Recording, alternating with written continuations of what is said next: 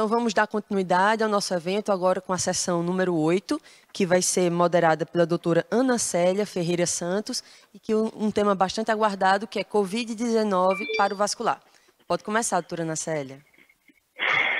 Olá, muito boa tarde a todos nesse dia enamorado em que estamos enamorando com a saúde, né, com o nosso compromisso, profissionalismo com o médico. Quero aqui agradecer a vocês, Marcela, doutor Gutenberg, a regional da Paraíba, a regional Rio Grande do Norte, pelo brilhante é, evento, né, sucesso. Aí sei que dá dificuldade, estamos atrasados, né, mas iremos adiantar o máximo possível para que o, o, o, evento termine no tempo justo, né, doutor Gutenberg? Temos bastante compromisso hoje à noite aí com, com os nossos enamorados, é isso? É, doutor André, acho que está com dificuldade de acessar aqui, a tela. Aqui, gente. Nos ouve? Tá então, a sessão ela será COVID para o vascular, em que a gente vai ter a presença de, do, de colegas da regional da, da Bahia, doutora Suzana Sanches, doutor Paulo, Paulo Ricardo, da, da nossa regional de Pernambuco, né? teremos também representante da regional do Rio Grande do Norte, doutora Liana, e da Paraíba, doutor William, como os nossos debatedores. E, além disso, ainda temos na Regional São Paulo, doutor André, doutor André, ginecologista, não é, não é cirurgião vascular, mas irá compor essa mesa. Inicialmente, é, vamos começar com a palestra da doutora Suzana, em que ela vai falar anticoagulação na COVID, o que sabemos até agora. Suzana Sanches é a nossa representante da Regional Bahia, do nosso departamento de flebologia. É uma profissional bem conhecida e esse, esse evento é, ela já está já como uma figura cativa né, de todas as apresentações aí que o Covid nos propiciou, essa união entre as nossas regionais, esses eventos online, e Suzana vai trazer, que é uma estudiosa no assunto, além de ser cirurgiã vascular titulada e endovascular por nossa sociedade, é membro da Sociedade Internacional de Trombose e Hemostasia e do Grupo Latino-Americano de Trombose e Hemostasia. Doutora Suzana, religiosamente, seu compromisso com o seu tempo, tá bom? Obrigada, Ana, pela sua generosidade na minha apresentação, né? Obrigada aos é, organizadores desse evento, parabéns, o evento está belíssimo, e eu agradeço imensamente a oportunidade de estar aqui hoje com vocês, conversando sobre um tema que ao mesmo tempo instiga e desconcerta, anticoagulação na Covid. Então, revendo muito sucintamente a origem do problema, a origem do problema vascular na Covid-19 é a inflamação endotelial. O endotélio é a grande sede da interface entre trombose e inflamação, e como essa lesão endotelial pode acometer vasos de todos os calibres, mimetizando um quadro de vasculite, isso se traduz clinicamente é, por uma série de eventos tromboembólicos que, do ponto de vista fisiopatológicos, decorrem de uma série de eventos que passam por tempestade de citocinas, por degradação do glicocálix endotelial, por ativação do sistema complemento, liberação de mediadores histotóxicos, dentre outros, e clinicamente se apresenta para a gente dessa forma. Né? O TEP é a apresentação mais comum, mas a gente também tem visto AVC, trombose arterial, trombose é, venosa profunda, inclusive de sítios atípicos, e infelizmente números muito elevados de eventos com mortalidade cardiovascular envolvida. Tudo isso decorre da perfeita combinação dos elementos da tríade de Virchow. Se a gente olhar de perto qualquer doente internado por Covid, a gente enxerga hipercoagulabilidade pela fisiopatologia da doença, a gente enxerga estase, porque os doentes dependentes de oxigênio eles ficam acamados, e a gente enxerga lesão endotelial. Então, do ponto de vista bem prático, para eu responder à questão no tempo, a gente tem alguns cenários de anticoagulação no COVID e algumas estratégias. Para efeitos didáticos, eu vou dividir no cenário do paciente com Covid que não internou, no cenário do doente que internou na enfermaria, no doente que internou na UTI e nesses doentes que internaram após a saída do hospital. O foco dessa apresentação vai ser nas estratégias anticoagulantes, mas saibam que também algumas estratégias antiagregantes plaquetárias estão sendo estudadas nesse contexto. Então, o primeiro cenário é o paciente que tem um COVID leve e que não internou. Né? Temos muito pouco, poucos dados publicados sobre esse perfil de pacientes, inclusive os dados de incidência ainda são muito limitados. Mas o que, que a gente sabe? Que o doente que é assintomático ou oligossintomático, ele tem um risco muito menor de ter um evento tromboembólico do que um doente moderado a grave. Então, a gravidade da apresentação do COVID ela é diretamente proporcional ao risco trombótico do doente. Então, para os pacientes que não internam, a gente deve manter a anticoagulação se ele tiver indicação para isso. Né? Se ele usar vitamina, antagonista de vitamina K, a gente deve espaçar as coletas de RNI, considerar o uso de DOA em paciente que usa é, antagonista de vitamina K ou heparinas, né, considerando especialmente o momento que a gente está vivendo de crise de abastecimento, desde que, obviamente, não haja uma contraindicação, e os episódios diagnosticados nesses pacientes devem ser tratados da maneira habitual. O segundo cenário é o doente interna, né, na enfermaria ou na UTI. Então, doente clínico hospitalizado, a gente tem dados muito bem consolidados que até 50% desses pacientes estão em risco de TEV. Esse risco, nesse momento que o paciente interna, ele é relacionado principalmente à imobilidade e à gravidade da doença. Sendo bem objetiva, no cenário COVID, se a gente pegar o paciente que internou e aplicar o score de Padua, que é um dos scores mais uh, bem uh, validados para essa população, a gente vai ver que o doente pontua imobilidade reduzida e pontua infecção aguda, então todos vão ser de alto risco. Então, está bem sedimentado em todas as diretrizes que o paciente que interna para tratar COVID merece tromboprofilaxia, preferencialmente com heparinas, na ausência de contraindicações. A grande questão é qual é o nível de anticoagulação que esses pacientes precisam.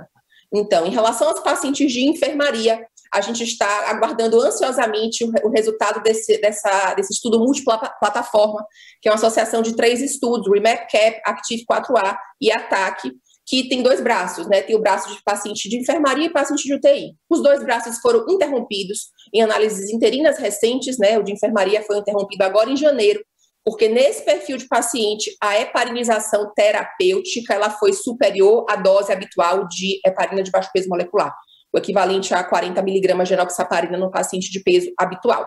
Contudo, esses dados revisados por pares ainda não foram publicados, portanto, a gente ainda não tem respaldo para mudar a nossa conduta.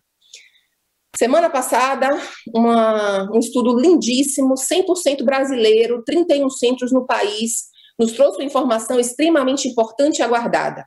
Também no perfil de pacientes com Covid internado em enfermaria, né, 94% dos pacientes do estudo Action tinham esse perfil, esses pacientes eram adultos com dedímero elevado, eles foram randomizados para usar rivaroxabana 20 miligramas por 30 dias ou heparina profilática na dose padrão.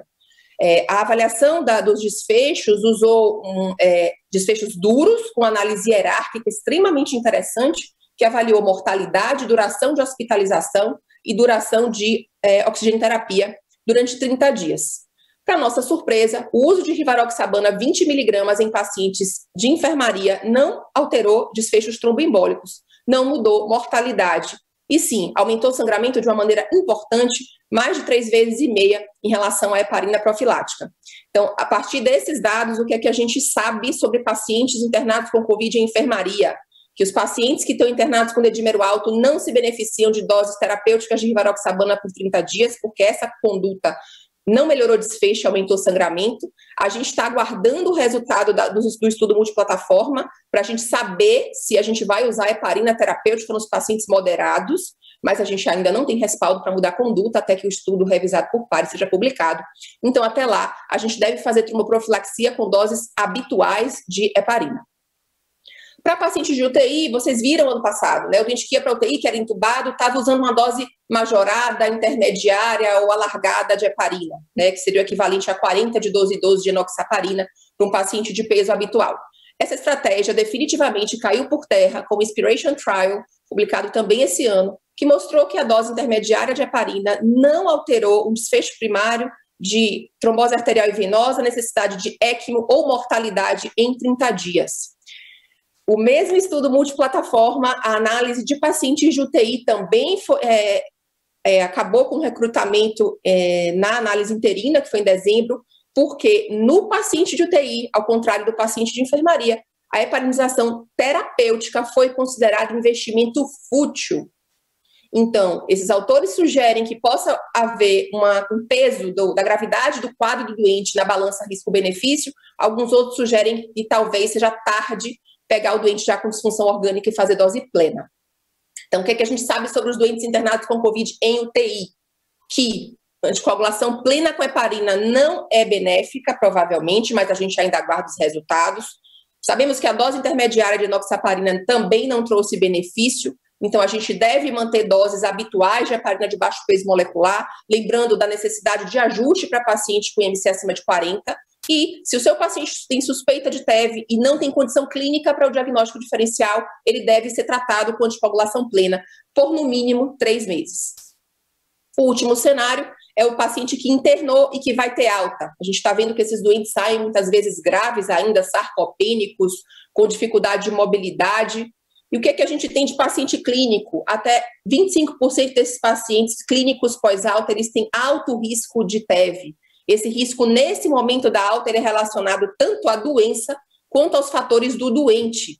Então, a gente tem como extrapolar dados de pacientes clínicos. No estudo Marina foi usado o score de Improved D, onde o paciente que tem Improve maior ou igual a 4 ou 2 a 3 com dedímero acima do dobro do limite superior é entendido como um doente de alto risco trombótico. Se esse doente tem alto risco trombótico e obrigatoriamente baixo risco hemorrágico, mensurado pelo score de Improved Bleed, esse paciente pode ser considerado elegível para extensão de tratamento. Lembrando que o estudo Magella nos ensinou que a extensão com rivaroxabana deve ser evitada em cinco perfis de paciente, né? Paciente com bronquiectasia ou cavitação pulmonar, paciente oncológico, paciente com úlcera péptica ou história de sangramento nos últimos três meses, ou ainda em paciente com dupla antiagregação plaquetária. O que é que temos de recomendação nesse cenário?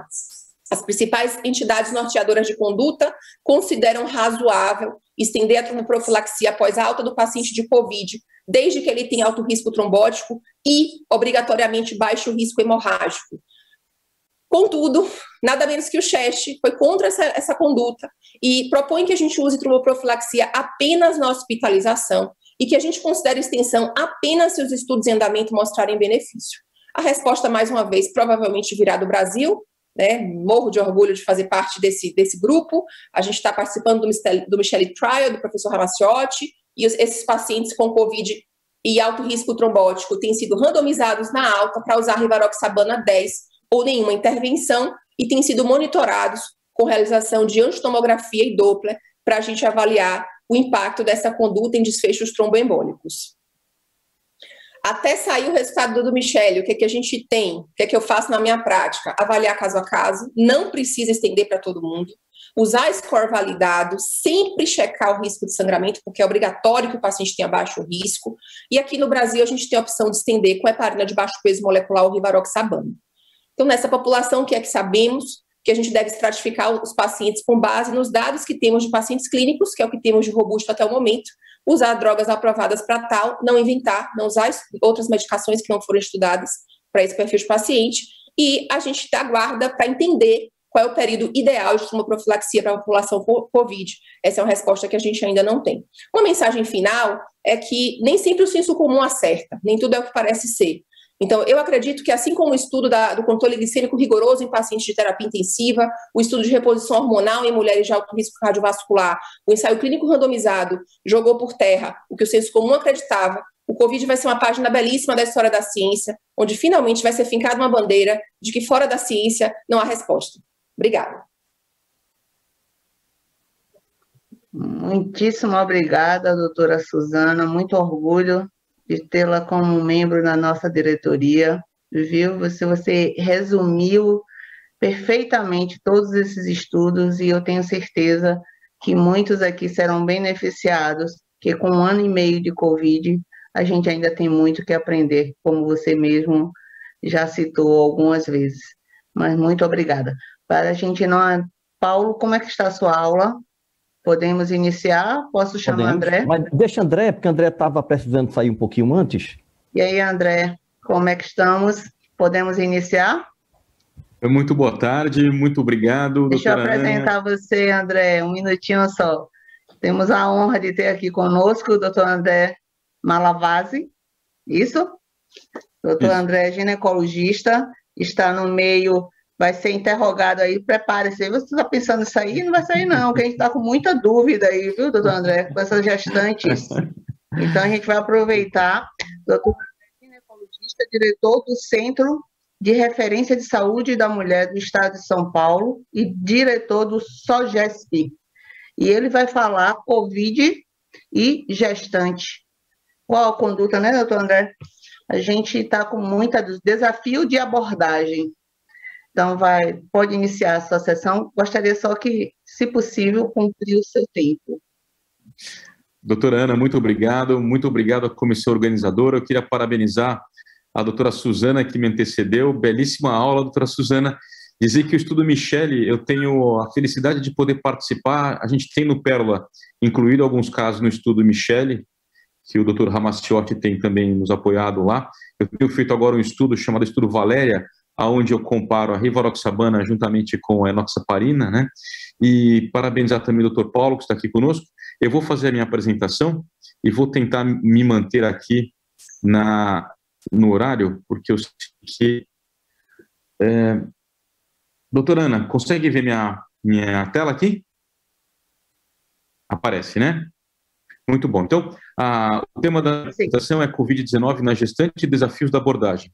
Eu sou ginecologista e obstetra, mas eu tenho uma grande felicidade de estar aqui com colegas cirurgiões vasculares, angiologistas, com quem eu sempre aprendo muito. Esses são meus conflitos de interesse.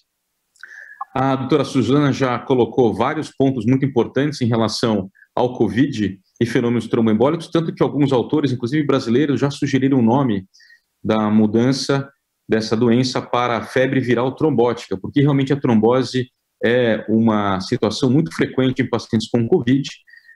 A tríade de Virchow, ela é, é lendária e por não mudar a tríade, nós não incluímos no seu centro a inflamação, mas sabemos que inflamação e trombose são de braços dados, muito provavelmente porque as citocinas inflamatórias, entre outras coisas, ativam os monócitos a produzirem fator tecidual, ativando a via extrínseca. Nós, é, em todos os estados da federação, estávamos já em 2019 cursando com aumento de mortalidade materna. O aumento de mortalidade desde 2000, desde 1996 nós computamos sistematicamente os dados de mortalidade materna pelas comissões de morte materna e pela primeira vez houve um aumento importante neste número e creditado especialmente ao aumento da taxa de cesárea. Todos os senhores sabem que a cesariana, por ser uma cirurgia de médio porte, ela aumenta o risco de fenômenos tromboembólicos em quatro vezes. Então já estávamos vivenciando esta situação quando veio a pandemia, e a pandemia ela foi avassaladora. Estima-se hoje que 30% das mortes maternas no mundo são no Brasil, mortes maternas por Covid são no Brasil, é, em 2020, 10,5 mortes de gestantes e puérperas por semana. Estamos agora tendo já um número que ultrapassa 25 mortes maternas por semana em 2021. Então, realmente, a gestante e a puérpera são grandes vítimas desta situação, mas não só pela própria fisiopatologia da doença, não só porque a gestante e a puérpera são um protótipo ideal para trombose, elas têm a tríade de Virchow completa. A gestante tem hipercoagulabilidade, porque o estriol placentário aumenta fibrinogênio, reduz proteína S. A gestante tem compressão útero-caval mais proeminente a partir de 28 semanas, com redução importante do retorno venoso. A gestante tem lesão endovascular, quer seja pela nidação, quando o blastocisto adere ao endométrio que vira decídua, quer seja pela remodelação endovascular das arteríolas útero-placentárias para permitir o aumento de débito uterino, mas principalmente ela tem lesão vascular no parto quando a dectação, a separação da placenta em relação ao útero, deixa uma área cruenta, importante, cicatricial no endométrio. Então, a, a gestante, ela já era um protótipo ideal para trombose. A COVID, ela piorou isso, mas a COVID mostra que a falta de acesso em unidades de terapia intensiva para gestantes tem sido, na verdade, uma das grandes causas desta morte. O tempo aqui é muito curto, mas eu trouxe aqui é, o protocolo do Royal College. O Royal College se preocupa muito com o tromboembolismo materno, porque no Reino Unido a primeira causa de morte materna é embolia pulmonar. Países que conseguiram conter as causas clássicas, que são hemorragia, sangramento e infecção, têm como primeira causa de morte materna a embolia pulmonar. Então, o Royal College ele trouxe este task force, este painel mostrando o que fazer em relação ao COVID na gestante é muito interessante porque eles colocam um ponto importante, que dois terços das gestantes acometidas por Covid-19 são assintomáticas, mas daquelas que têm sintomas, os sintomas mais frequentes então são tosse, febre, menos frequentemente dispneia, menos frequentemente mialgia, alteração de sensibilidade de gosto ou olfatória e diarreia.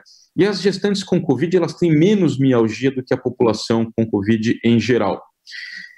Como uh, condutas gerais, é muito importante, então, que a gestante com Covid que está em casa, ela seja orientada das a, a funções então normais para evitar risco de fenômenos tromboembólicos.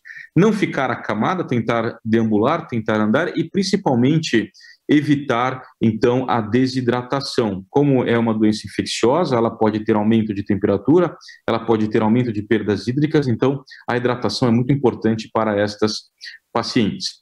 Quais são as gestantes que são as grandes vítimas de COVID-19? Algumas etnias, paciente que tem sobrepeso e obesidade, pacientes com morbidade é, prévia, como hipertensão, diabetes, pacientes com 35 anos ou mais e pacientes com deprivação socioeconômica. É, nós sabemos que a paciente que tem COVID, ela tem uma propensão a ter um parto prematuro e atrogênico. O parto iatrogênico prematuro é aquele que o obstetra indica o parto, porque ele está preocupado com a vitalidade fetal ou com a piora do quadro clínico materno. Então, infelizmente, muitas situações o obstetra, ele até por por falta de apoio, falta de estrutura, ele acaba optando por um parto prematuro, quando, se ele tivesse uma estrutura melhor, ele poderia levar essa gestação mais adiante.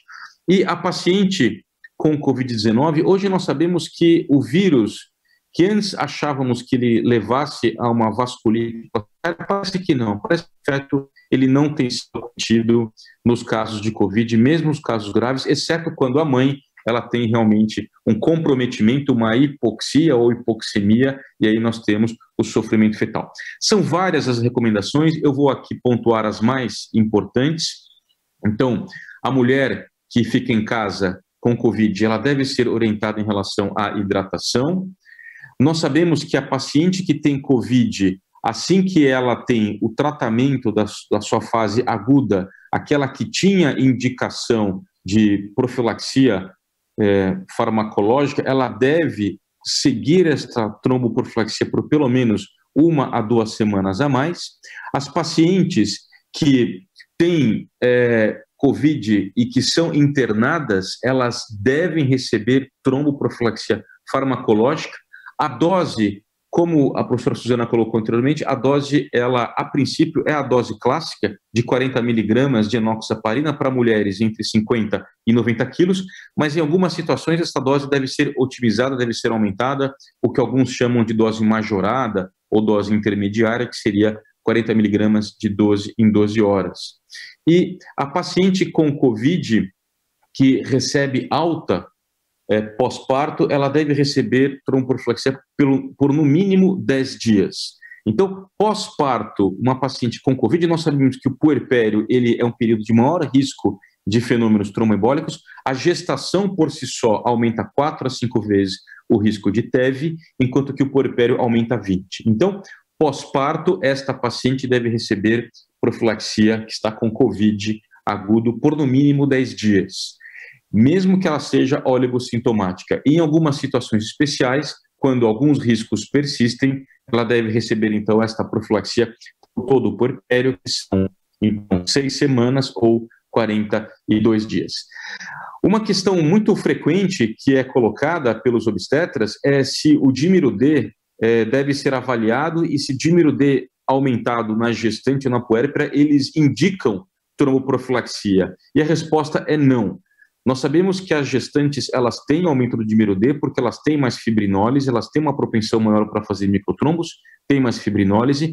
Então, o dímero D, até o presente momento, ele não deve ser avaliado e nem ser indicação de profilaxia ou da majoração desta tromboprofilaxia. No clinical trial existe um trabalho que está com, levando em consideração o dímero D, está comparando o dímero D para ver se ele é um marcador para pacientes gestantes com COVID, mas nós não, não temos ainda este dado é, pronto. O Brasil é um campeão mundial de cesáreas, nós só perdemos para a República Dominicana. Infelizmente, no Brasil, em termos relativos e absolutos, nós estamos liderando nesta situação. 55% de todos os partos no Brasil são partos operatórios. Em 2019, foram quase 2 milhões de partos cesariana e como uh, os senhores sabem, a cesárea por si só aumenta em média quatro vezes o risco de trombose. O score do Royal College ele pontua é, situa aonde a gestante ou a puérpera está para nós podermos fazer a tromboprofilaxia. Então, uma mulher que ela tem 35 anos ou mais, ela já tem um ponto. Uma mulher que tem obesidade e IMC acima de 30, um ponto. Acima de 40, dois pontos. Uma paciente que faz uma cesariana em trabalho de parto, dois pontos. Uma cesariana eletiva, um ponto. Uma paciente que tem imobilidade ou desidratação, um ponto. Aquela que tem infecção sistêmica, no caso o COVID, por exemplo, tem um ponto. Se esta gestante tem uma pontuação de 4 ou mais, ela deve receber a tromboprofilaxia desde o início da gestação, 40 miligramas de enoxaparina. Se a pontuação for de 3, a partir de 28 semanas. E por que 28 semanas? Porque com 28 semanas é quando nós temos a queda mais importante da proteína S, e a partir de 28 semanas, a compressão útero-caval ela é mais proeminente. E se a pontuação for de 2, ela deve receber por 10 dias pós-parto. Todos os senhores sabem que a heparina de baixo peso molecular é a medicação de escolha para as gestantes e puérperas, por ser a medicação que tem o menor risco de sangramento, não necessita de controle na dose profilática, se liga menos ao cálcio, portanto, levando a um quadro menor de osteopenia e osteoporose no uso acima de três semanas, e tem um risco de trombocitopenia imune induzida pela heparina muito menor do que a heparina não fracionada. As heparinas de baixo peso molecular são absolutamente seguras para o feto, porque são moléculas grandes, a enoxaparina tem 4.500 kilodaltons, a daltona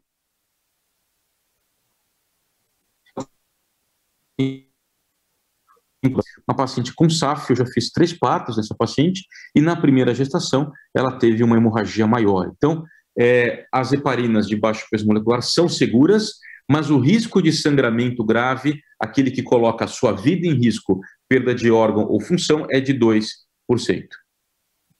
Então, primum non nocere, primeiro não lesar, primeiro não causar dano. Quando o risco de TEV é maior que o risco de sangramento, que no caso da gestante, com a dose profilática, é de 1,97, ou seja, 2%, nós usamos a tromboprofilaxia farmacológica. Se nós não podemos usar a tromboprofilaxia farmacológica, usamos a profilaxia mecânica. Mas devemos sim usar a profilaxia. É, só para citar que eu tenho recebido várias, é, vários apontamentos de colegas clínicos que, quando tem uma mulher que está com Covid orientam que essa mulher suspenda a pílula contraceptiva.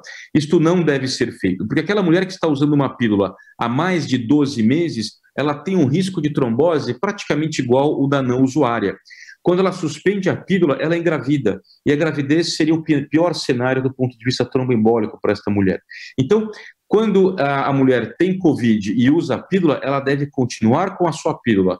Todavia, se esta mulher, por motivo de força maior, é internada numa unidade de terapia intensiva, ela tem uma intubação orotraqueal e, neste caso, não poderá continuar com o método contraceptivo oral combinado, quando ela retorna para casa, aí nós não podemos deixar que ela volte a usar a pílula, porque os senhores sabem que quando eu suspendo a pílula por quatro semanas ou mais, ela volta a funcionar como uma nova usuária se eu volto a introduzir a pílula, ela tem um risco tromboembólico alto, um pico de risco. E aí ela faz trombose. Então, aquela mulher que suspende a pílula, quando ela volta para casa, ela deve usar um outro método.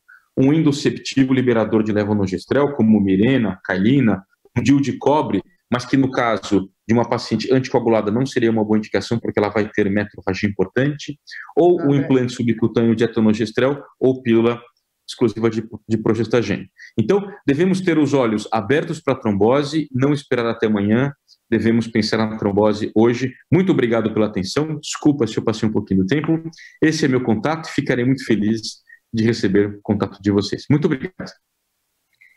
Ô, doutor André, muito obrigada pela presença. Está vendo que sua, sua participação aqui foi mais do que especial, porque com certeza temos algumas dúvidas. E aí eu vou aproveitar, se os outros debatedores é, ou se os outros palestrantes permitir, o senhor pode ficar até o final, ou eu Sim. gostaria de passar é, alguns os questionamentos dos debatedores agora, porque eu creio que o senhor vai precisar sair.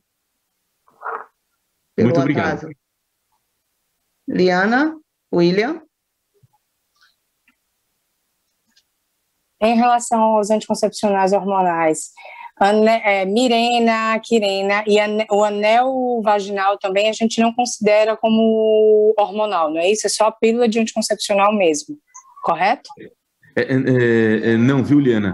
Na verdade, a, tanto o Mirena como o Kailina, eles são métodos hormonais, eles liberam o levonorgestrel, o Mirena ele libera 20 microgramas por dia no primeiro ano de uso e o Kailina libera 12 microgramas. É uma dose baixíssima, só para a gente situar, o, a dose que o Mirena, que libera 20, libera por dia é 7.500 vezes, 7.500 vezes menos do que a pílula do dia seguinte. Mas todos os progestagênios são liberados mesmo para a mulher que teve trombose, porque os progestagênios, eles não causam impacto na cascata da coagulação. Então, tanto a pílula do dia seguinte, que tem 7.500 vezes mais hormônio, como o Cailino, Mirena, o implante, que tem o etonogestrel, a pílula de desogestrel, que é o Cerazete, todos são liberados para paciente com risco tromboembólico. São métodos Ótimo. hormonais. Agora, não causam trombose. Agora, você citou o Nuvaring, que é o anel vaginal, o Nuvaring, ele tem o etinil estradiol na sua composição, que é um estrogênio sintético, e por incrível que pareça, o anel vaginal ele tem duas a quatro vezes mais risco de trombose do que a própria pílula, assim como o adesivo, que é o Evra, tem a quatro vezes mais risco de trombose do que a pílula. Por que isso? Porque quando é colocado em absorção de mucosa ou transdérmica, o etilenoestradiol faz um pico, uma área sobre a curva grande, e aí tem um impacto maior na cascata da coagulação. Então, sua pergunta é muito importante, porque os DIUs medicados com levonorgestrel, o implante subcutâneo e a pílula só de progestagênio não tem risco nenhum de trombose. Já o anel vaginal e o adesivo tem um risco que ele é, sim, importante. Doutor André, é, gostaria de perguntar ao senhor quando que você indica que a gente aumente a dose profilática para essas gestantes internadas, se é peso ou é realmente a gravidade do caso. E outra pergunta é em respeito se vocês têm percebido o aumento dos abortos espontâneos por conta é, do Covid-19, se isso aí tem acontecido. É, é, Lamax, não, é, nós não temos tido relatos é, de aumento na incidência de abortamento espontâneo. A taxa de abortamento espontâneo, a taxa de prematuridade têm se mantido iguais. O que nós temos tido, sim, são gestantes que têm começado o pré-natal mais tardiamente, infelizmente, por questões de acesso da pandemia. Então, temos tido algumas complicações, mas de ordem é, de início do pré-natal.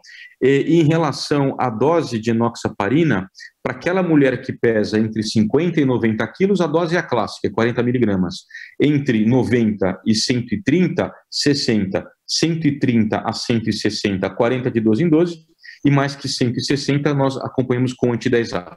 É, a dose majorada ou a dose intermediária, tem um grande estudo feito por uma, uma coagulacionista holandesa chamada Saskia Middletorp, a maioria dos estudos que o, que o CHEST coloca de trombose na gestação, a Saskia participa, ela faz parte do board do ISTH, e ela está finalizando um estudo chamado High and Low, porque a própria ISTH considera para a gestação que as doses profiláticas podem ser utilizadas tanto a dose de 40 como a dose intermediária, que é 40 de 12 em 12. São doses equivalentes.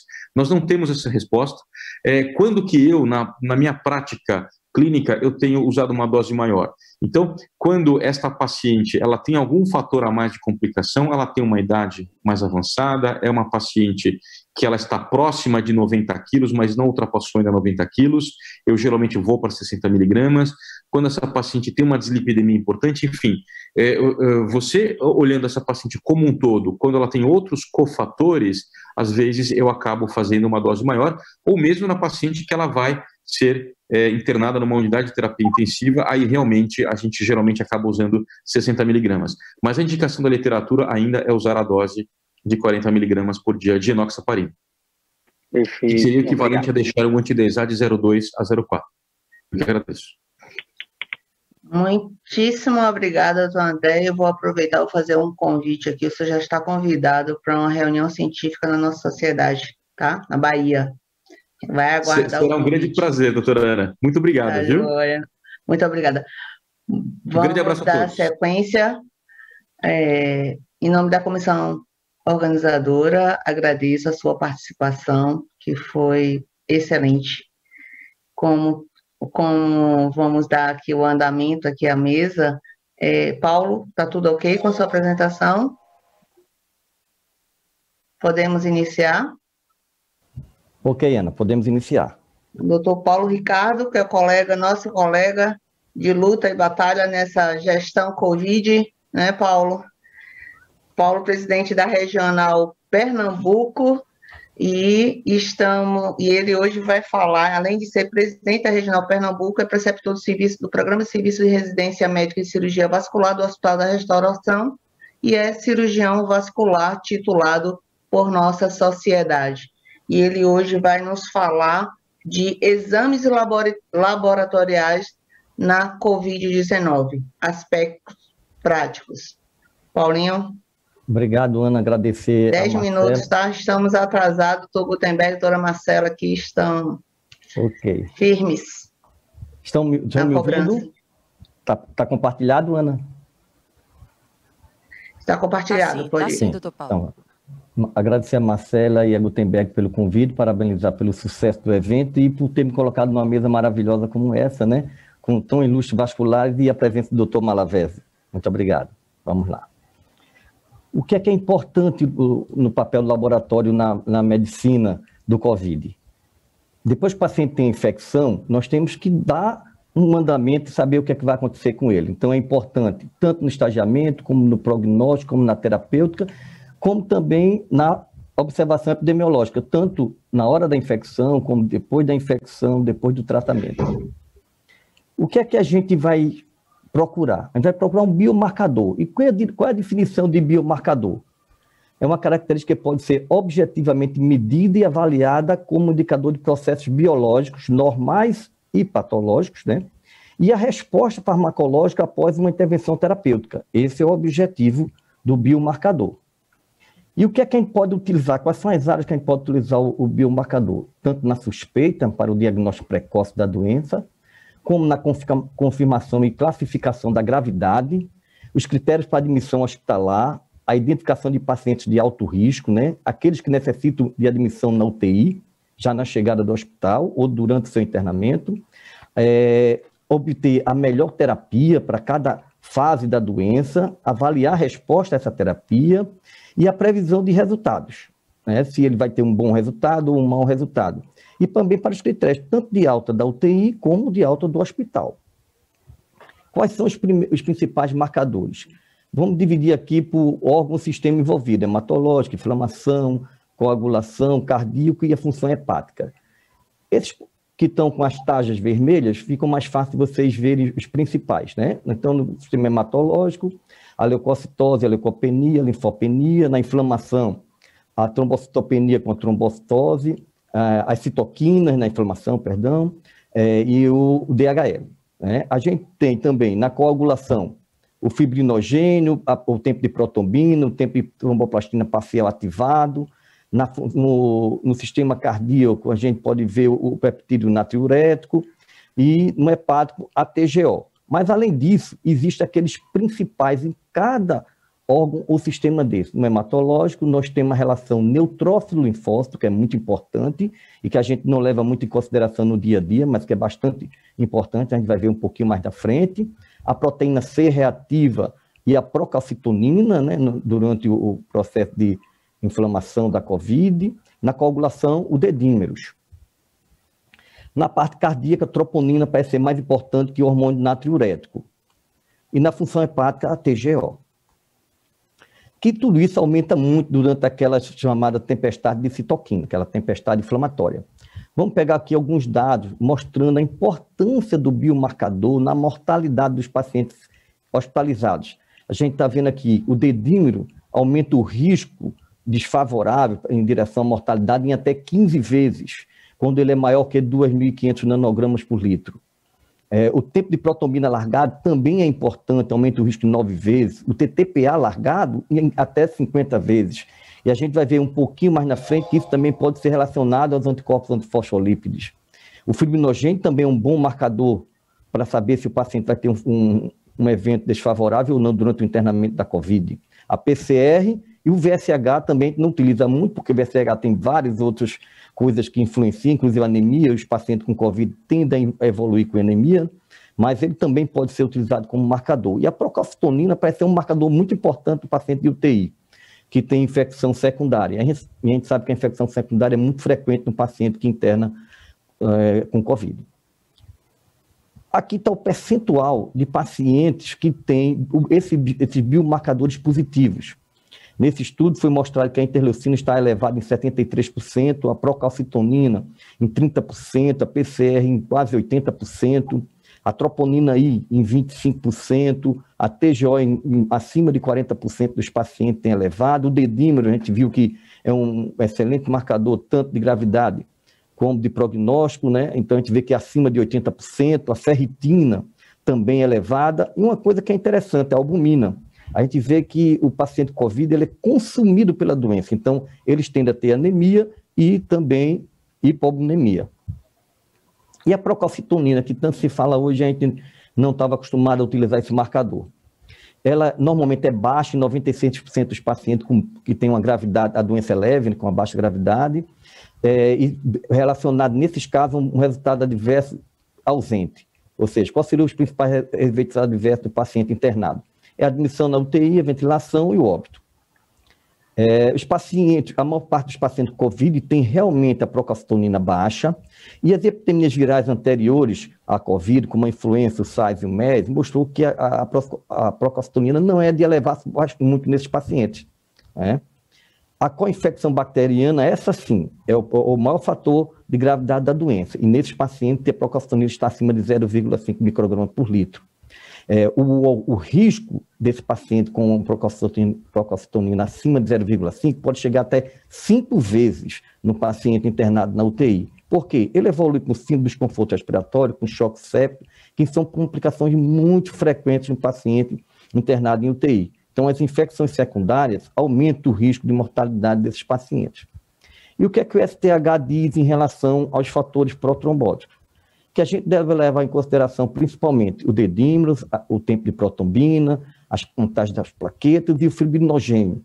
Então, a gente tem que levar em consideração principalmente se há aumento do dedímeros, queda, aumento do tempo de, de protombina, queda da plaqueta e queda do fibrinogênio, que pode estar associado a um, um aumento da coagulação.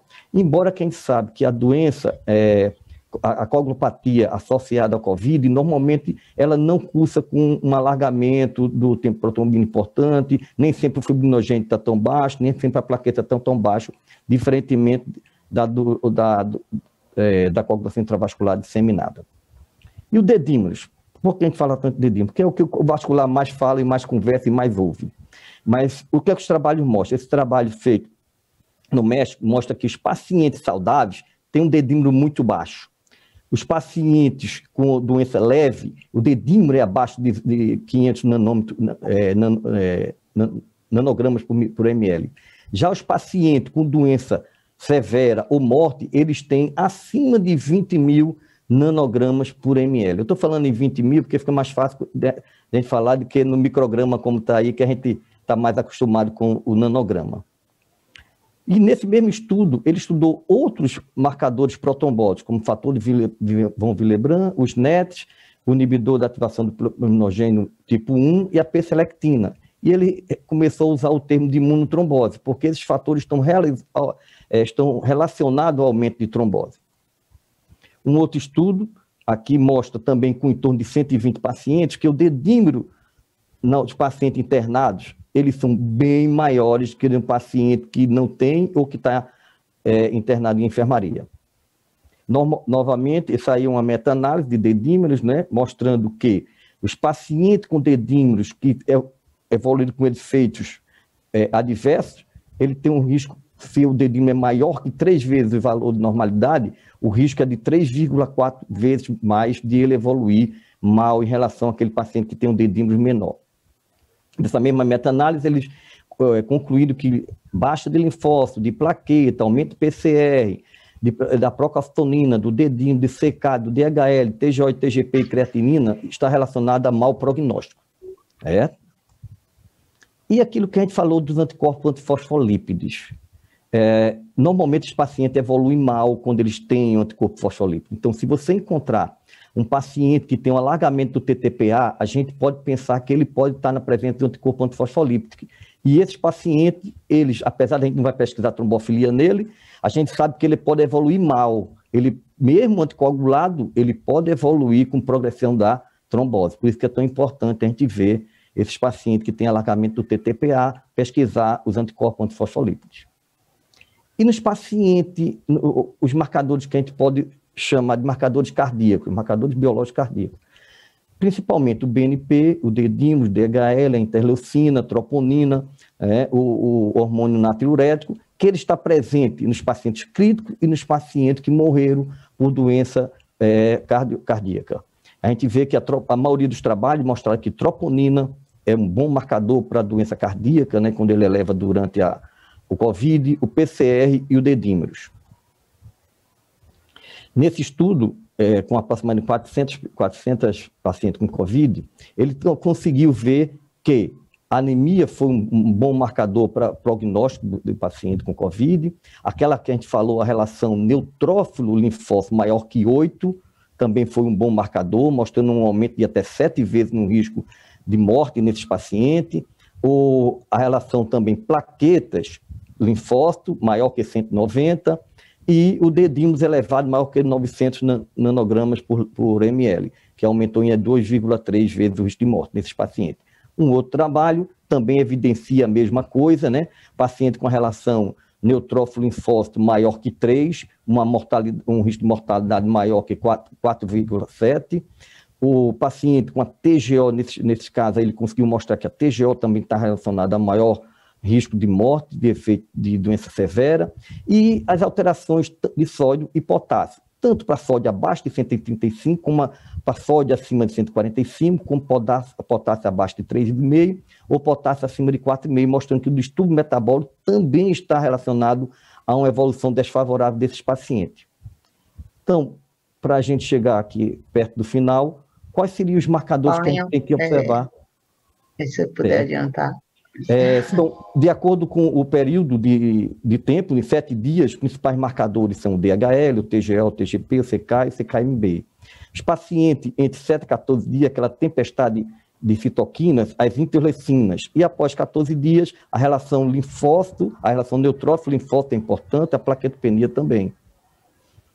A avaliação de gravidade, a gente tem que levar sempre em consideração a relação neutrófilo-linfócito a diminuição da relação linfócito-PCR é importante, o aumento da interleucina, a gente tem como dosar, hoje é, um, é uma, uma, coisa que é feita pelo laboratório, PC, aumento da PCR e a procalcitonina e o dedímeros.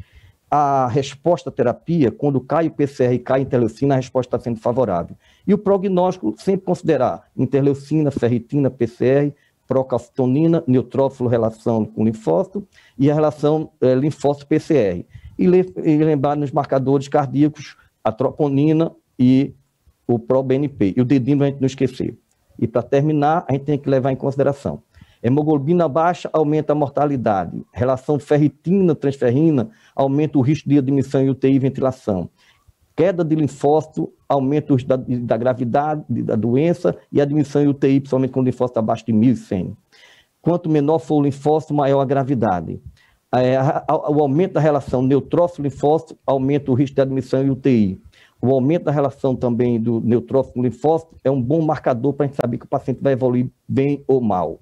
Né? Então, a gente tem que lembrar que o principal é não esquecer que os pacientes precisam ser examinados e que a gente não pode esquecer que ele tem que ser monitorizado. PCR, dedímeros, procalcitonina, é, nos pacientes inter, internados com risco cardíaco, o, a troponina e o BNP. Muito obrigado. Corri um pouquinho, mas muito obrigado a todos.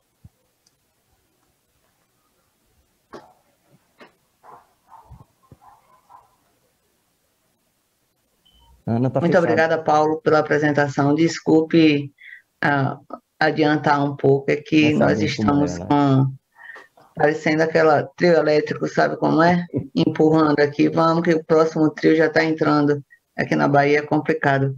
Mas agora a gente vai ter a apresentação da última palestra com a doutora Roberta Lacerda, doutora Roberta, que é infectologista do Rio Grande do Norte, é, que vai falar sobre medicina com evidência ou experiência profissional.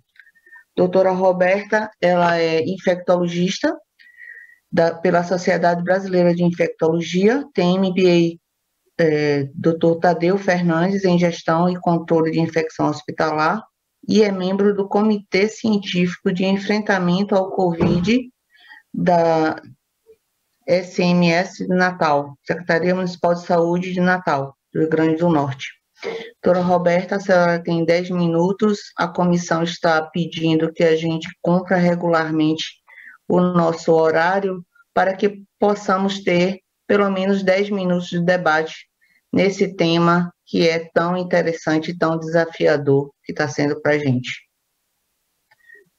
Tá, tá tudo ok com a sua apresentação, doutora Roberta? Boa tarde. Eu vou tentar ser breve. Meu áudio está. A câmera. Estão ouvindo? Boa tarde. Boa tarde, seja bem-vinda. Muito obrigada pelo convite. Eu agradeço imensamente estar presente nessa é, reunião científica, já que a gente tem poucas oportunidades desse debate, né, em torno do assunto tão polêmico, infelizmente tão politizado. Mas eu vou tentar ser breve e me atentar a duas polêmicas em especial com relação ao que seria ciência ou conveniência, né?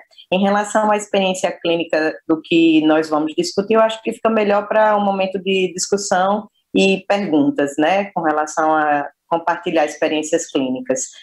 De toda forma, é, os objetivos desta discussão seria pontuar alguns diversos erros de metodologia alguns artigos científicos, é afirmar a segurança de fármacos da abordagem precoce e confirmar evidências científicas acerca da abordagem precoce. Eu não tenho nenhum conflito de interesses e conseguiria, é, iniciaria nossa apresentação comentando sobre um dos mais polêmicos estudos que foi um divisor de águas na história dos ensaios clínicos randomizados, que foi o de Borbat et al., em meados de fevereiro até abril, a gente tinha diversos estudos em andamento, Solidarity, Recovery, tanto para drogas reposicionadas em ambiente hospitalar, como também iniciando em ambiente ambulatorial.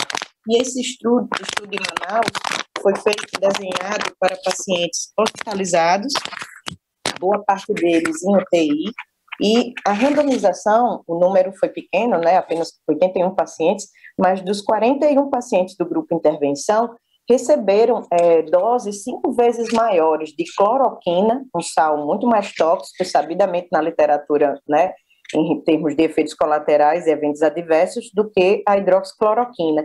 E o que mais nos chama a atenção nesse estudo é que dos pacientes que foram é, randomizados para esse grupo, quatro deles tinham cardiopatia e os outros grupos de grupo controle, a maior parte não tinham. Então, até a randomização, ela apresentou falhas nesse sentido.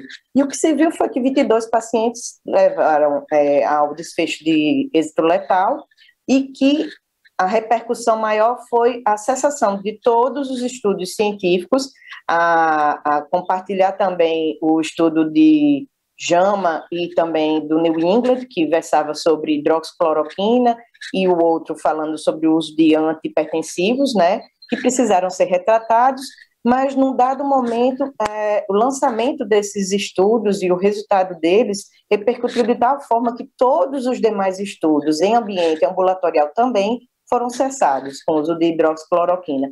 Isso foi temerário, porque é, a ciência ela cresce no que a gente entende como uma divergência de opiniões e a questão do contraditório. Você não pode cessar um estudo baseado em um único aspecto, principalmente quando você percebe que o desenho do estudo foi feito versando com doses, inclusive, de bula letais para o medicamento, né? É sabido que a influência da Big Pharma dentro do que a gente entende do contexto de novos fármacos, de pandemias ou não, é que você pode muito bem comparar medicamentos de forma que um seja mais tóxico que o outro, ou necessariamente que um penetre melhor em um tecido do que o outro, e de certa forma, no seu estudo, isso vai provar que ele foi mais eficaz ou menos tóxico, que são as duas principais é, abordagens, né? A gente tem que primeiro prezar pela, primeiro, segurança, não maleficência, e segundo, eficácia.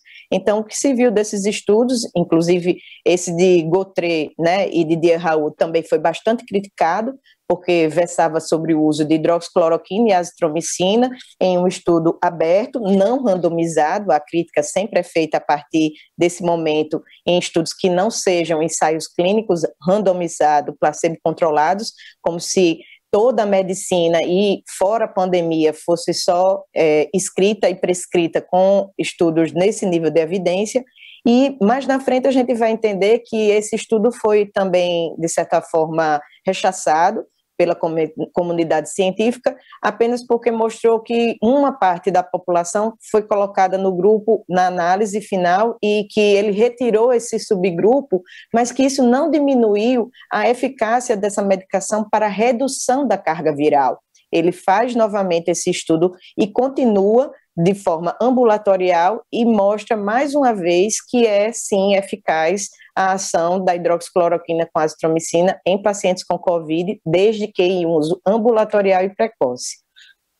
Esse é um outro estudo que a gente comentou sobre a questão da doença cardiovascular e o uso de fármacos antipertensivos associado ao aumento de mortalidade, e eu diria que, juntamente com outro do Lancet, que teve que ser retratado também, esse daqui, hidroxicloroquina ou cloroquina com semacrolídeo é, do Bandep né, e do Menha, um dos principais cirurgiões cardiovasculares do Brigham Young Hospital em Massachusetts, eles utilizaram bancos de dados fraudados, né, o Sugisphere, e se não fosse uma carta com mais de 90 né, assinaturas de pesquisadores e cientistas questionando a base de dados, e principalmente um jornalismo investigativo do The Guardian, nós não teríamos rapidamente a resposta a respeito desse estudo fraudado que teve que ser retratado. Então, duas revistas bicentenárias, New England Journal e Lancet, tiveram que retratar-se retirando de publicação dois estudos fraudados e que, de forma monumental, é, levaram a grande prejuízo no andar da ciência, no sentido de progredir com estudos científicos em fase ambulatorial com esses fármacos. É, com relação a esse outro estudo de David Bower, ele foi muito insensado na comunidade científica, porque aí se foi dito que pela primeira vez havia evidência de que o uso ambulatorial, já que ele estava pegando pacientes a partir de três dias de sintomas, não mostrava eficácia no uso da hidroxicloroquina e ou azitromicina, seja para profilaxia, seja para tratamento precoce. Mas um pequeno detalhe que poucas pessoas se atentam, nos suplementos, eu diria, em especial, porque infelizmente o que a gente está tendo hoje um fenômeno importante da medicina e da desinformação na ciência é que as pessoas estão discutindo ciência ciência a partir de manchetes de jornais, elas não estão lendo os artigos científicos na íntegra, principalmente nos suplementos e no que diz respeito à análise de é, suplementos com número necessário para tratar, p-valor. Então, nesse estudo de Bower, é interessante frisar que apenas 30% dos pacientes foram testados com RT-PCR para classificá-los necessariamente com infecção pelo SARS-CoV-2. De fato, boa parte dos pacientes, 70%, nós não sabemos se tinham infecção pelo é, SARS-CoV-1, adenovírus, vírus sicicial respiratório. Então, apenas nos 30% testados, quando a gente pega esse subgrupo e ele analisou nesse subgrupo a resposta aos sintomas com a introdução de hidroxicloroquina ou azitromicina dentro do contexto de número de dias de sintomas com 14 dias como ponto de corte, ele disse que não houve diferença estatística na resolução dos sintomas. Mas é de importante observar que em toda a história da infectologia e de pós-exposição, como o título bem diz no artigo, profilaxia pós-exposição, até onde a gente entende numa doença virológica, é até 72 horas. E quando você puxa o artigo e analisa nos suplementos, se você analisar a curva Kaplan-Meier é, de análise até três dias de intervenção, há um P significativo de redução de carga viral e sintomas. Então, de fato, esse estudo é apenas um exemplo de cherry picking, onde você escolhe aquilo que você quer mostrar, a exemplo do nosso coalizão, né, que também foi muito é, insensado e serviu de base para essa revisão do Cochrane, agora de fevereiro de 2021. É interessante observar que quatro dos principais estudos de, é, analisados nessa meta-análise do Cochrane versavam exatamente com doses tóxicas de hidroxicloroquina ou cloroquina em pacientes internados principalmente que não havia homogeneização dos grupos e, de fato, que analisava pacientes ditos internados, misturando também com pacientes ambulatoriais, como foi o caso do estudo de Bower. Então, é interessante observar que até o Cochrane, ele tem uma queda de qualidade quando ele analisa estudos ao mesmo tempo ambulatoriais e hospitalizados, com pacientes em tratamento precoce ou profilaxia, misturados com pacientes em fase internada, avançada, onde já se sabe há muito tempo que realmente esses fármacos não têm realmente eficácia. Em relação à ivermectina, vou ser breve pelo tempo, mas a doutora Tess Lowry, com quem nós colaboramos dentro do BIRD, que é o British Ivermectin Research Development, é um grupo de pesquisadores e médicos de linha de frente que analisa as evidências científicas para a ivermectina, principalmente o subgrupo da doutora Tess Lowry no Reino Unido, que é consultora da Evidence Based Medicine Consultants, ela é uma referência em medicina baseada em evidências e consultora da Cochrane Review, tanto para o OMS como para o NIH, que é dos Estados Unidos, e do NHS e ela faz uma revisão sistemática de literatura desde janeiro de 2021 para analisar o que seria então o uso da ivermectina, um fármaco já conhecido há 40 anos na medicina tropical, pertencente à lista de medicamentos essenciais da OMS, Prêmio Nobel da Medicina em 2015 e estudado por sua ação in vitro há mais do que oito anos, desde 2010, 2014, com dengue vírus, zika vírus, e o vírus e vírus da febre amarela.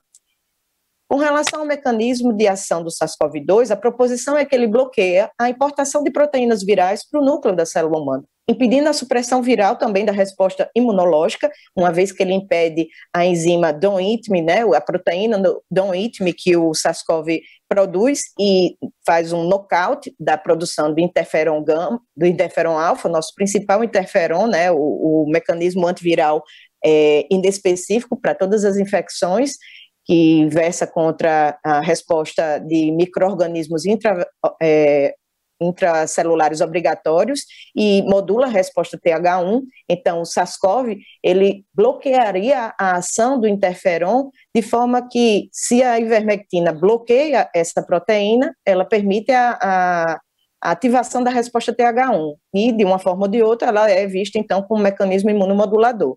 Ela inibe diversas enzimas virais necessárias para sua replicação, dentre elas a 3CL-PRO, CL-PRO, que são as enzimas que vão dar a conformação né, do, do material genético do RNA viral e reduz a inflamação, reduzindo a produção de citocinas inflamatórias que vão desencadear todo o inflamassoma responsável por essa resposta de cascata inflamatória da tempestade de interleucinas à custa de L6, TNF-alfa e diversos outros fatores protrombóticos que a gente sabe é uma doença do endotélio, em homenagem aos colegas da angiovascular. Nessa revisão sistemática de literatura da vermectina para prevenção e tratamento, os revisores três deles, sendo dois também é, médicos especialistas, um economista e um representante do consumidor, enviaram esse protocolo de revisão à Cochrane em janeiro de 2021. E ele já está sendo analisado por pares para poder encaminhar para publicação. Acho que aconteceu algum problema aqui e não está avançando a minha apresentação.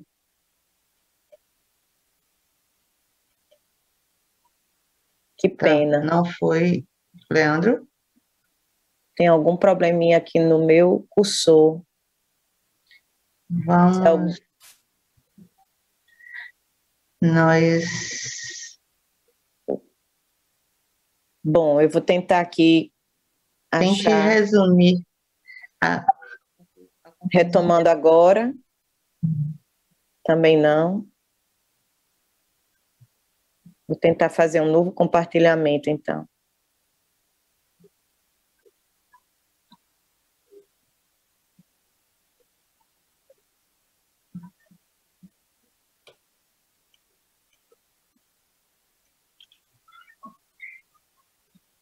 Ai, que pena. Roberto, Tem alguém da TI? Vamos, podemos, eu, eu, eu acho que eu posso sair e entrar novamente para tentar ver. Você tá já está perto de, de concluir, Roberta? Alô? Temos como concluir, Roberta? Eu acredito que sim, eu acredito que a gente pode só complementar dizendo que a revisão sistemática da OMS peca porque ela retira quatro dos principais estudos que aumentam o N em mais de 450 pacientes analisados tanto em nível ambulatorial como também internados, e dentro da própria revisão sistemática de literatura da OMS, ela incrivelmente conclui que ela, a ivermectina reduz em 80% é, o risco do paciente adoecer para formas graves e ainda levanta a hipótese de que não deveria ser utilizada pelo alto risco moderado de eventos adversos, o que é de alto questionamento, porque quando a gente entra num portal da OMS, do VigiExas, com relação aos eventos adversos nos diversos fármacos e terapias propostas na medicina, a gente já tem aí uma média de mais de 45 anos de uso da ivermectina e apenas 16 mortes é, relatadas na literatura, enquanto que no uso do remdesivir já tem algumas centenas, e em relação ao uso das vacinas para Covid, esse número já avança em alguns milhares. Então, é de se estranhar que um fármaco custo-efetivo oral de grande abrangência e que já é utilizado em tratamento de populações em massa, seja questionado pela sua é, questão de toxicidade ou evento adverso, e por isso não seja útil como uma proposta terapêutica profilática em meio a uma pandemia de grandes proporções globais, econômicas, sociais e de saúde. Era só isso que eu tinha para dizer. Peço perdão pelo inconveniente da apresentação ter falhado, mas o tempo é curto e seria mais para ressaltar esses pontos de questões metodológicas que às vezes a gente não está feito aos detalhes. E o diabo mora nos detalhes, como a gente bem sabe. Muito obrigada. Muito obrigada. A apresentação realmente é, é brilhante. O tema, o tema é, a gente fica sempre na dúvida, saber qual, qual é o real interesse né, da, da, da indústria nisso tudo. O questionamento é, é muito grande. É, eu vou abrir é, para os debatedores. Doutora Liana, infelizmente, teve que sair. Essa mesa é uma mesa multidisciplinar, onde a gente teve a cirurgia vascular, a ginecologia e a infectologia. Um ano e meio de Covid. Estamos vendo aqui o que foi que a gente aprendeu, o que é que está definido e o que é que a gente pode melhorar. Né? Experiências em, em várias regiões, pessoas que, que estão envolvidas com pesquisa na área pública, é, colegas trabalhando em hospitais públicos. Então, eu vou abrir para o, o debate, doutor William Max, você é, pode direcionar seus questionamentos. É, só temos é. aí sete minutos só, infelizmente, William. Serei breve, serei breve. É, primeiro, começar por Roberta, que foi a última e a mais recente da gente, é, e parabenizar pela excelente e brilhante abordagem que ela deu ao tema, um tema tão controverso. Realmente é, é de a gente meio que suspeitar, né, por porquê de, de não a gente poder utilizar essas drogas, é, em detrimento do, dos fatores de risco, né, assim, das complicações que a gente sabe que são muito baixas. Enfim, é, a ciência a gente sabe que é a arte do contraponto, né? Então a humanidade ela cresce mais nas perguntas do que somente nas respostas, né? Então eu acho que foi uma coisa que foi tolhida agora nessa pandemia foi exatamente essas esses questionamentos, essas perguntas, né? Foi muito politizado e alguém deve ganhar com isso, né? A indústria, a grande indústria, creio eu. Mas só parabenizar pela abordagem que você deu a, a esse tema. É, Doutor Paulo, também parabenizar pelo, pela brilhante abordagem que ele fez. E eu queria saber do doutor Paulo o que é que ele acha que a gente deve se preocupar mais. É uma pergunta meio capciosa, mas em relação aos marcadores, doutor, o que é que a gente deve se preocupar mais? O que é que o clínico ou o vascular no dia a dia deve ficar mais atento, né, para que ele possa fazer uma terapia de anticoagulação profilática ou já partir para uma terapia um pouco mais é, assim, mais intensa, né? É, a gente observa, o, a aula foi pautada principalmente em relação ao paciente internado, naquela admissão, você saber se o paciente vai ficar na enfermaria ou se ele vai para a UTI, né? Não foi nem baseado tanto nos pacientes que a gente vê no dia a dia em casa, que cursa com dedinhos altos, PCR alta, né? Fibrinogênio alto, que a gente vê com frequência aí no início da doença. É, a gente sabe que o dedímeros tem sido utilizado como um, um marcador importante para o paciente que tem risco ou não de desenvolver TEV. O valor de, proposto para esse caso é três vezes o valor de normalidade, seria 1.500 nanogramas, né? Esses pacientes que têm um, um dedinho acima de 1.500 nanogramas, a gente tem que ficar com uma vigilância maior. Raramente a gente há necessidade de fazer a profilaxia em casa, a não ser que o paciente já tenha outros, outras comorbidades, né? Então, o paciente que já é acamado, está com de 2.500, eu acho que esse paciente deve realmente com Covid, ele estando em casa, eu acho que a gente tem que fazer algum tipo de profilaxia, porque ele não vai conseguir fazer a fisioterapia necessária para que se locomover, né? Então, a gente deve fazer todos aqueles cuidados, hidratar, pelo menos hidratar, mas a gente não vai poder fazer com que ele se locomova. Então, nesses pacientes, você pode fazer a profilaxia com o paciente em casa.